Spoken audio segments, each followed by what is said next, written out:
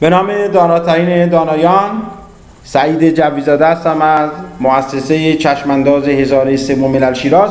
هر جا که در این کره خاکی که می‌بینید در تصویر شاد شاد شاد باشید. نمی‌دونم الان ایران هستی اروپا هستی آفریقا هستی در شبه قاره هند هستی. هر جا که هستی شاد باشه. پل ارتباطی من با شما 0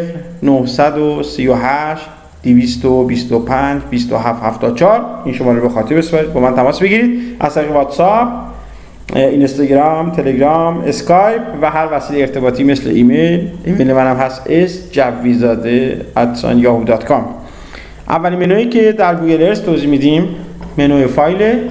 وقتی که فایل رو باز کنید با اولین گزینه برخورد می‌کنید به نام open. شما می‌تونید بر روی open کلیک کنید و فایل های KMZ یا KML خود رو به نرم افزار اضافه کنید. توی مباحث تئوری گفتیم که دو فرمت اصلی نرم افزار KMZ و KML که متعلق به Google Earth ه و شما می‌تونید این فایل رو در محیط Google Earth باز کنید. یا شما می‌تونید بر روی صفحه کلید خودتون با فشردن دکمه کنترل و اونو, اونو پایین قرار بدید فشار بدید و O رو بزنید. کلید میانبر open هست و این پنجره باز میشه. پس من یه کنترل رو می‌زنم پنجره باز میشه و یک لایه KMZ اینجا دارم. open می‌کنم به نرم افزار اضافه میشه.